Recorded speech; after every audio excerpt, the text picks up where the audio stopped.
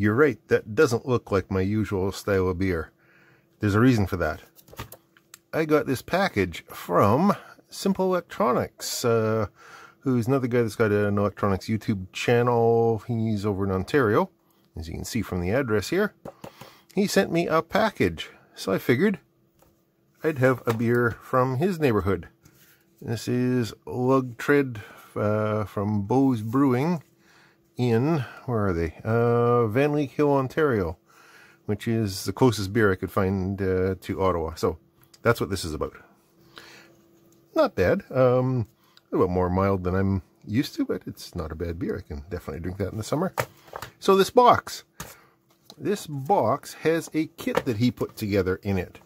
Uh, on his channel, he did uh, did an exercise designing a circuit slightly modified from a very standard circuit, and then went through the whole process of uh, using CAD tools to do the schematic up, and then writing or um, designing a board, having the board printed by one of those uh, uh, quick PCB print companies that you've heard advertising all over everybody's channels. Um, but not here because I'm not doing sponsorships. Um, but here is the kit that he put together. He he made up I think half a dozen of them. Um, sent me one, sent one, sent a couple of other people. One of them he sent to another YouTuber, another small channel called Junk from Work. I'm not exactly sure where he is. I think he's on the west coast. Um, anyways, he's uh, he does like automotive electronics usually and tools and stuff like that. So um, I'll put links down in the down below to uh, to Simple Electronics and his his design and build of this thing. Um, he's got a playlist, so I'll, I'll, link to that. Actually, I'll probably link to that up there. And Junk from Work, I'll link to him down in the description to his uh, to his live stream where he threw this thing together. Um, and just generally dicked around as you do on a live stream. So, what do we have? We have a note, and we have the kit. Probably better packaged coming from Ontario than most of the stuff that I get from China. Then again, he spent a ridiculous amount on postage for this because that's just what Canada Post does. Uh, so we have all of the components in here and the board, which looks like a fairly nice little board actually. And we have a note. Hang on. The note has a schematic, which is nice. Uh, and his general explanation. Circuits designed for 12 volts. MOSFETs rated for 6 amps, but... And then a little personalized note. Hang on. Okay. Uh, cool little note. Nothing too uh, too personal on there. So there we go. Let's uh, let's just get into this kit though. And here's just a freeze frame of the schematic from his video, um, which is a little bit easier to see than on that paper just with my lights and stuff. But it's a fairly standard 555 circuit. Um, these two diodes with their 0.6 voltage drop and wherever this thing is set between the two between the charge and discharge is going to adjust the threshold and thus cause the uh, PWM thing to happen. I'm just doing this from memory, so I may be a little bit off, but he goes through it and explains it in big detail in the uh, in his uh, playlist. So if you want to know more, check that out, or you know, do what what any of us would have done and go and check the Wikipedia article. Anyway, um, so on the output pin three, he's driving the gated MOSFET. So you can drive something fairly big, and I think he said it can go up to like six amps with a caveat. So you can drive lights or whatever you want on that motor speed control. Sure. Um, he's got it set up as a 12 volt circuit. Um, 12 volts connected over here, and then uh, 0.01 and 470 microfarad uh, for decoupling slash power supply smoothing. Nice simple little circuit, and it shouldn't take that long to uh, to build it, actually, as long as they don't screw things up. Now, I know somebody's going to say, how come you don't have one of those, uh, one of those brass shavings things? I do. I like this. I'm old. I'm used to this. But I may poke the thing into that every once in a while just to get an extra clean. Anyway, turn that on, get that warmed up. While that's happening, let's pull this guy out. Dump everything randomly on the board. So, uh, he mentioned in the note that uh, there was a bit of an error on the board surrounding the potentiometer footprint, which is down here. What happened, as he explains in his video, is he weighed this out as 0.1 um, headers, header or 0.1 pitch, the same as uh, breadboards and things. However, when the pots showed up, they are breadboard friendly, but they're 0.2 pitch. They hit every second one. So he's done this. He's tacked on um, some header pins to make it fit. Okay. Good bodge. Not a bad workaround at all. Uh, other than that, what do we have in the kit here? We have the hardware for the pot. Probably don't need that. A couple of screw terminals. There's the filtering capacitor. There's the timing capacitors. That's probably 104. Yeah, that's going to be the other. What are these two guys? That one's 103. Oh, okay. So the two 104s are these ones here. That's the 103. That's the big electrolytic. Uh, we have the MOSFET. We have two diodes. These two diodes here. And what else are we going to find? A 1K and a 10K resistor.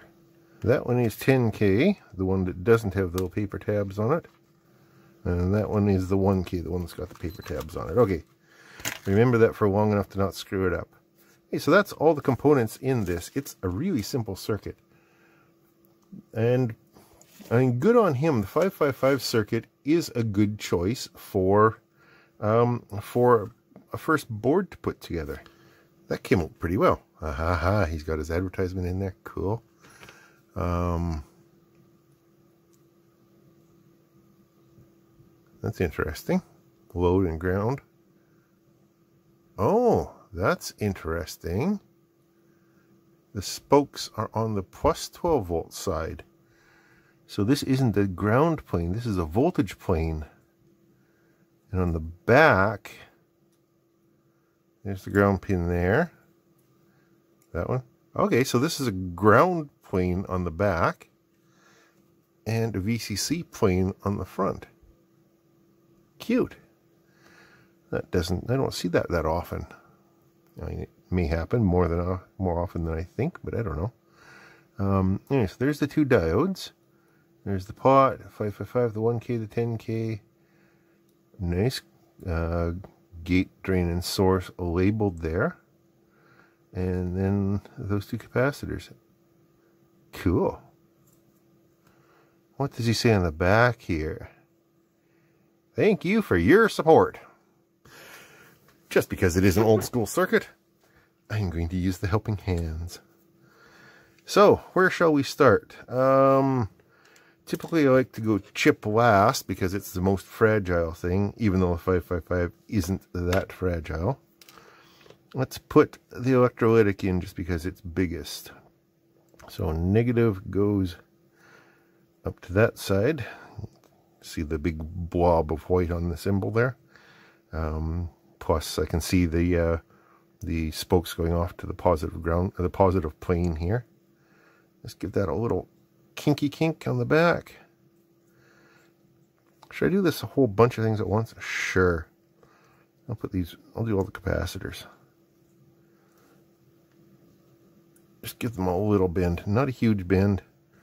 I know that offends some people. You just have to bend it enough that it'll hold. And not so much that uh, your solder blob is going to spew over onto something else. Okay, starting with the electrolytic. That solders up nicely. How about the one on the side on the ground plane? Yeah, that takes a little bit more time. And these two little caps. Oh, yeah.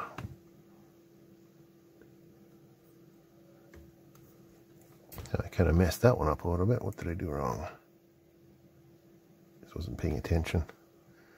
And then this one again, which goes to the ground plane. Okay, that worked pretty well. I'm Use my new cutters for the first project.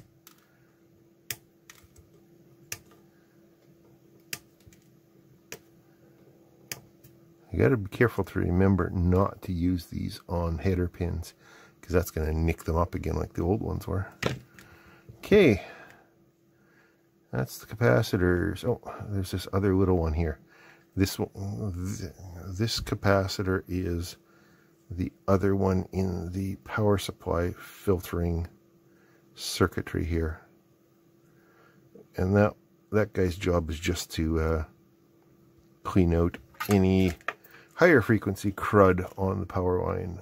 The larger electrolytic will take care of any low, lower frequency AC that happens to be stuck on there causing problems. Or, in this case, not causing problems because the capacitors will take care of it. Okay. Resistors. That one was the 1K. I remember that because it had the paper on it. Those nice rough bend. Shrunk into there, and I'm just going to bend the leads on the back. You've seen that happen before. And the 10K goes on the other side of the 555. There's there's a lot of different sort of theories as to what's the best uh, order of operations for a circuit board a lot of guys say do the uh, do the small stuff first, the low profile stuff first, and then do the the tall and big and in the way stuff. Why didn't that work? Because I didn't get down in there with my iron. And there is value to doing things in that order. Um, sometimes it makes sense. Especially if one thing gets in the way of something else. And I'll often do that if there is something like that happening. Note that I'm keeping the uh, the pot and the MOSFET for later. Now then, I have committed a sin, according to some people, I've cut through the solder, which apparently is a bad idea because you'll shock the component and damage it. There's a bloody resistor. Relax. Uh, so what's next? Let's put the two diodes in. Are they both the same? They ought to be. Mm -hmm. Yep, those are both 4001s. Okay. Let's drop them in. Um, he's got the band ends marked, so that's real easy. Get in. Get in. So, yeah, the uh, order of operations. So again, I if there isn't any real mechanical reason to go with one or the other order of operations, I tend to just go with the least fragile, least possibly damaged by heat things first, and the most likely to be damaged by heat or static or screwing around things last, which usually means leaving the chip to last until unless it goes in a socket. And again, the 555, especially the non uh, CMOS, non, uh, yeah, the non CMOS ones are fairly robust. Even the CMOS ones these days are. But again, being old school, back in the day, CMOS was considered expensive and fragile. Okay, so far so good. What else we got here? Um, let's put those in. Okay, uh, there's something I would change if I was doing this board later. Not really a criticism, just an observation. I would make sure that the power and ground designations aren't obscured by the connector. Because when you're connecting it up later, especially if it's a long time later, that's going to get in the way and you're not going to be able to tell. Uh, also, so to load, you can see it there. From load, that's a little tricky to see. You can sort of see it. Because those things won't hold when I turn this upside down, Blu Tack or the dollar store equivalent thereof. Now these are going to take a little bit of heat just because they're such big pins and such big pads. But it's still not too much. Mean, we're still relatively small stuff here. This one's going to take the hard, going to take the most heat because it's on the ground plane. But that still wasn't too bad. Okay, last two things. The MOSFET. So that goes on there. I'm going to give these just a little bit of a bend just to keep them in place. They're a little, a little heavy duty though. Okay. Why does that keep going out of focus? Uh, and again, these are a little bit bigger, so they're going to take a little bit more heat. Just a second more time, not too much. And then this one's on the ground plane. Clean up the iron.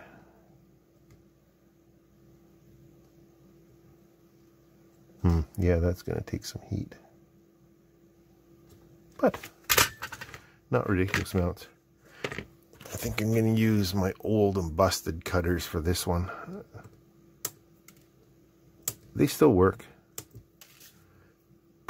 I'm just being a little precious with the new ones here. Okay, what's left on there? Just the chip. Oh, and the pot. Right, so let's just take a pause for a second. So the pot, I could use his bodge, which would work, but I think I'm going to try something else. I have in my accumulation of stuff some pots, including these little 10 turn ones, which are 50k and a multi-turn pot and more importantly 0.1 pitch. So they should drop right in. It's always important to have stuff on hand. You never know when you're going to need it. I'd rather have it and not need it than need it and not have it. So I will drop that in that away so I can adjust it from off the side of the board and here's my Blu Tack again. Okay, so it's not much of a modification, but it's something. Uh, I don't really want to dig into the circuit board and modify it and hack it apart if I don't have to. And I know the circuit board works because I've seen two different guys assemble it. Yep, just the chip left now. There we go. Uh, as usual, there's the notch marking and the square pad both indicating pin 1. The chip itself has the same notch indicating pin 1. Just drop that guy in there. Nudge him in a little bit. There we go. And a quick solder job. Okay. And just to be nice to the chip, I'm going to spread the heat around from one corner to the other. Take my time.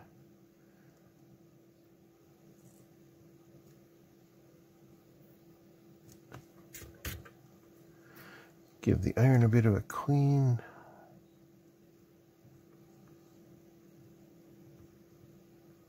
How come that one doesn't feel like it's all the way through?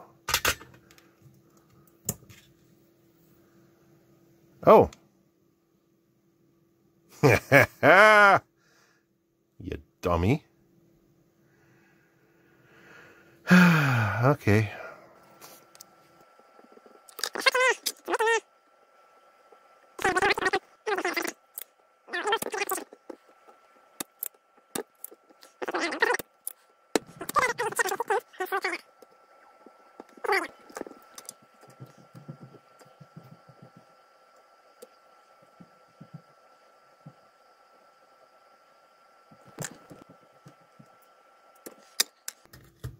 Okay, there got the chip pried up.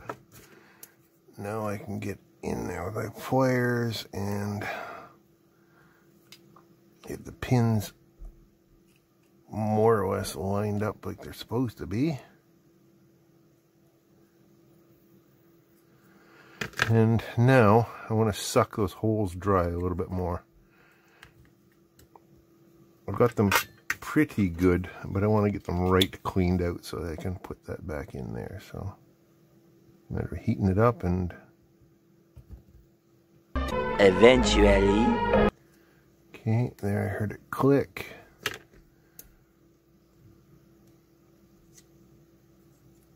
Okay, there we go. They're all through now. Huh.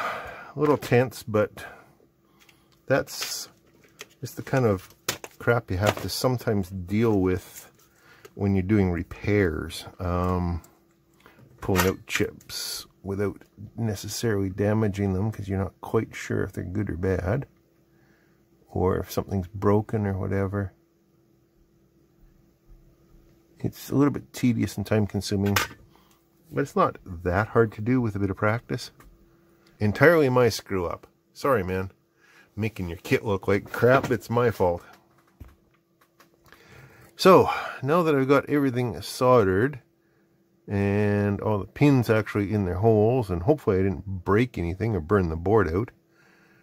Although, all the abuse that I put this thing to, that's a testament to this, is it FR4, I think it is, uh, circuit board material. Um, the fiberglassy stuff. I didn't destroy the board. Woohoo! So now we'll bring in some of the alcohol of the non-drinking variety here. And just clean up the flux on this board. Because I made such a mess of it. Try and make it look a little bit presentable. This is just a little bristle brush. It's, think of it as a heavy-duty toothbrush, right? That's, that's all that's really going on here. I'm just getting all the excess flux off here which is something I know other people have uh, mentioned in previous kit builds of mine. Clean up your flux. Yeah, it's boring to watch on camera. That's why I don't normally show it to you. Anyway, let's see what this looks like now. That's not too bad. It's a little bit, little of flux there. So I did actually damage the pad a little bit, but it doesn't matter because it's just a mechanical anchor pad on this side. It's this side where it's connected to the plane so I think I should be ready to try and power this thing up and see if it works. Okay, um, I've got myself a few things hooked up here. I've got an LED with a resistor in series with it, just so I don't blow it up or destroy anything. It shouldn't be too high a current draw, but uh, just make sure anyway. 12 volts on the power supply. And I've got it current limited at just shy of 200 milliamps. So, hopefully if things go horribly wrong, they don't go horribly wrong. Power there, power there. Now I don't know where that pot is set to. So let's see what happens when we turn that on.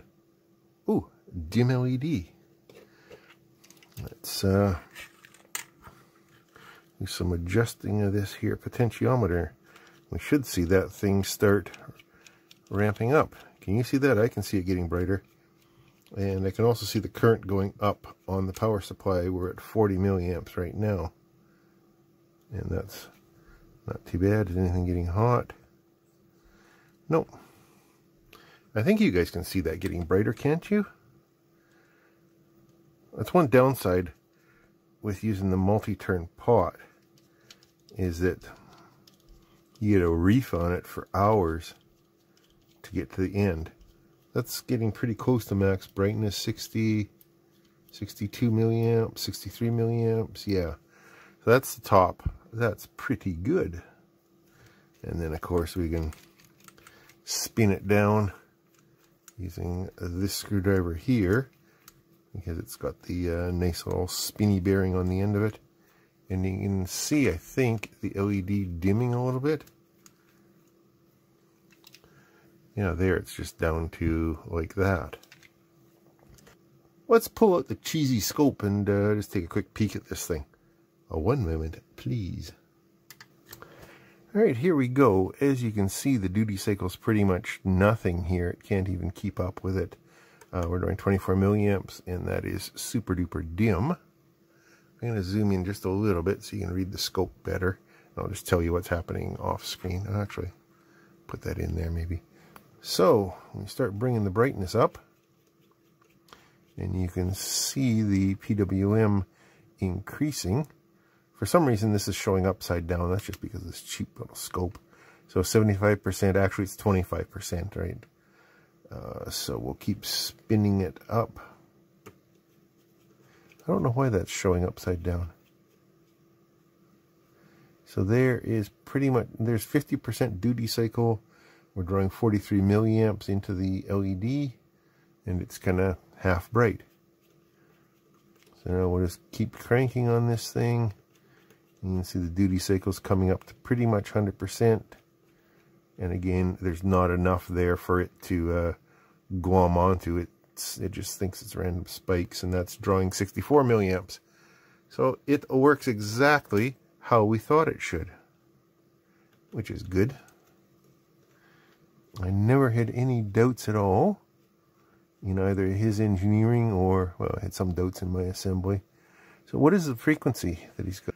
So yeah, here we are back at about 50, 50-ish uh, percent duty cycle. Yeah, 941 hertz. Okay.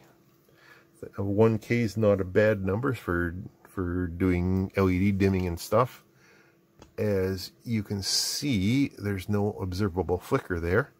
Uh, partly because that's not an even division of my uh, frame rate, and partly because it's just too fast anyways.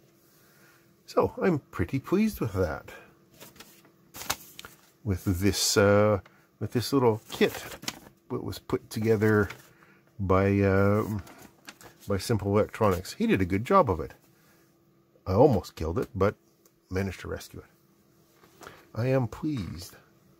Thanks, uh, thanks to Simple Electronics for sending me this kit to play with. That was fun. That was even even fixing my screw up was was fun experience. I haven't uh, done a lot of board level repair lately.